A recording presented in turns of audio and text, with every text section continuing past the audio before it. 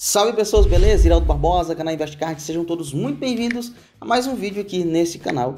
No vídeo de hoje, pessoas, a gente vai voltar a falar um pouquinho sobre o Santander Play. Esses dias para trás eu recebi algumas pessoas é, pedindo para mim falar acerca do aumento de limite do Santander Play. Portanto, resolvi fazer esse vídeo. As pessoas comentaram no vídeo onde eu falo sobre o Santander Play, ele vai estar aqui no card. E nesse vídeo eles me pediram para fazer um, um, vídeo atualizado acerca do acerca do, do procedimento para o aumento de limite do próprio Santander Play. Portanto, eu decidi fazer esse vídeo. Antes de começar, eu não posso deixar de pedir para você se inscrever nesse canal, é claro, para você é, se inscrever, deixar o seu like, compartilhar esse vídeo caso você ache relevante e vamos embora para o vídeo. Pessoal, eu entrei em contato com o Santander, o Banco Santander, acerca de aumento de limite e toquei no assunto acerca do Santander Play, né? Que é um cartão muito, muito cobiçado pela galera. Acredito que o Santander Play e ele, juntamente com até então Santander Free, que agora é Santander SX, e o Santander 123 são os cartões mais procurados pela galera. Por quê? Porque os demais cartões são, são cartões um tanto quanto mais difíceis para se ter acesso. Então, os mais fáceis do Banco Santander para mim são esses, né? Santander é Free, que agora é Santander SX, o Santander Play e o Santander 123. Para mim são os três cartões de mais fácil acesso do Banco Santander. No último vídeo que eu falei sobre o Santander Play, eu falei sobre o aumento de limite que consiste nos, seguintes artifícios.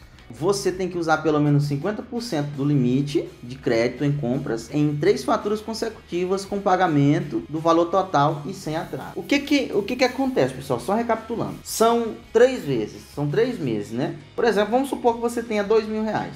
No primeiro mês você tem que gastar no mínimo mil. Quando você for pagar o primeiro mês, você tem que pagar os mil. Não pode pagar é, menos disso, né? É a política do próprio Santander. No segundo mês, você deve também gastar no mínimo mil e pagar também mil. E no terceiro mês você tem que gastar também mil e pagar mil. É o mínimo, mas você pode gastar tudo. O que que acontece?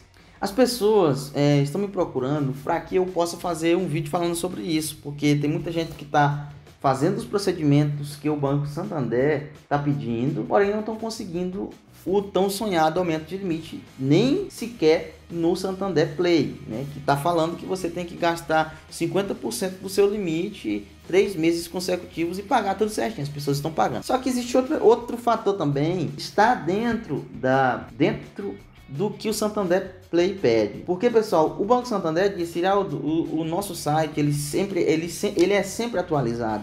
De forma que o mesmo procedimento que você passou no outro vídeo é o mesmo procedimento que está aqui ainda e que ainda está vigorando, pessoal. Não mudou, o procedimento é o mesmo, não mudou.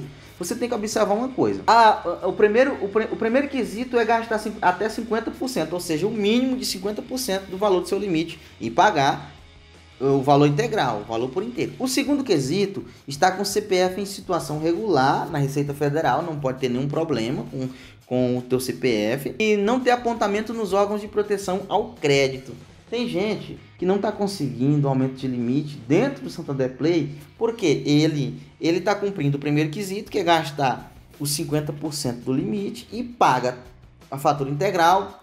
Ele ele ele está com CPF irregular diante da Receita Federal, porém ele tem apontamentos externos em outras instituições. Como assim? Ah, você tem um nome no SPC, você tem um nome no Serasa, você tem um nome no, no Boa Vista, talvez está lá no COD, não sei. Tem esse apontamento. E aí você está totalmente fora dos parâmetros que o Santander pede para aumentar o seu limite, que é primeiramente gastar 50%, pagar integral depois está com o CPF regular e depois tem que estar tá com o CPF limpo. Não dever ninguém na praça. Não é dever o Santander, pessoal. É não dever ninguém na praça. Sabe por quê? Vou falar uma coisa para vocês. Eu não sei se você já, já, já abriu o seu aplicativo do Santander On, se você for cliente do Banco Santander. Eu vou colocar um print para vocês aqui em algum lugar na tela. E vocês vão ver que o, o aplicativo do Santander On, ele consegue identificar se você teve apontamento nos últimos meses. Eu não sei se você já prestou atenção nisso, a maioria aqui acredita que já.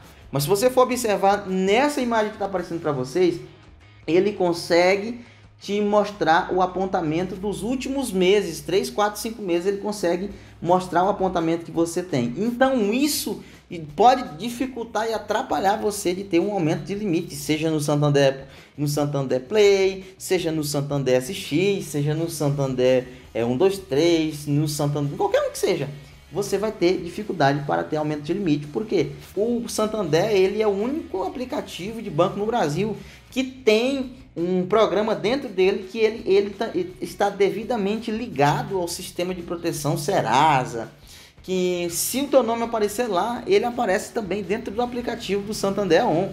Então ele está ele, ele, ele tá capturando tudo. Então, o que, que acontece? Se você foi para o Serasa há dois meses atrás, possa ser que o Santander está esperando você ultrapassar a margem que eles pedem, que é 90 dias, para poder, após 90 dias, reiniciar a nova contabilização de mais três meses para te dar um aumento de limite. Você já parou para pensar nisso?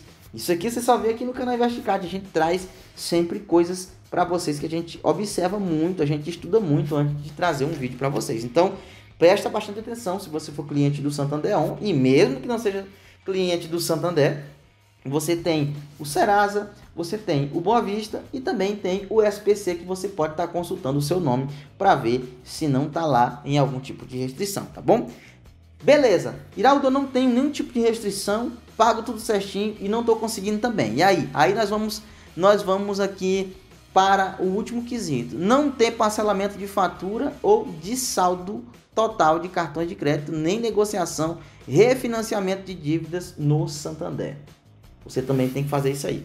Tem muita gente, tem muito, tem, tem muito, alguns inscritos que já me procuraram com aquela questão de o, o Santander ele tem uma pegadinha quando você vai fazer refinanciamento, você vai e tem, é, às vezes o aplicativo aponta que você tem um empréstimo quando você clica lá é, não é empréstimo coisa nenhuma. Ele está tentando te refinanciar a dívida do seu cartão de crédito, te vender por três vezes o valor que você está devendo. Eu também não, ah, eu não sei se você já prestou atenção nesse vídeo, mas se você não prestou atenção ainda, eu, eu quero que você assista esse vídeo aqui, ó. Vocês vão entender do que, que eu estou falando. O Santander diz que você tem um empréstimo, você clica no empréstimo, quando você vai lá, não é empréstimo. Ele está querendo que você refinancie ou financie a dívida do seu cartão de crédito, que é três vezes o valor que você está devendo. Então não faça isso. Porque a partir do momento que você concordar em fazer isso aí, se você não prestar atenção no que, que você está fazendo, você vai gerar uma restrição dentro do Santander. E lá mesmo ele está dizendo que a partir do momento em que você concordar com, com, esse, com esse refinanciamento, o seu limite pode ser diminuído até 50%, ou o contrato na letra miúda possa ser que eles cortem todo o seu limite de crédito. Então toma cuidado também com isso aí, para vocês não terem nenhum tipo de refinanciamento, nenhum tipo de dívida dívidas essas que, que superaram aí o valor da tua renda, porque também possa ser que o sistema do Banco Santander não vai deixar você ter aumento de limite com medo de você se endividar, tá bom, pessoal? Então eu trouxe esse vídeo aqui para vocês, para tirar dúvidas e para ajudar vocês aí que são clientes do Santander e quero desejar boa sorte e que vocês possam ter aí os, teus, os seus tão sonhado aumento de limite, tá bom? Então, muito obrigado por me assistir até aqui. Desde já quero pedir para você se inscrever, deixar aquele like, deixa teu comentário e até o próximo vídeo. Tchau, fui.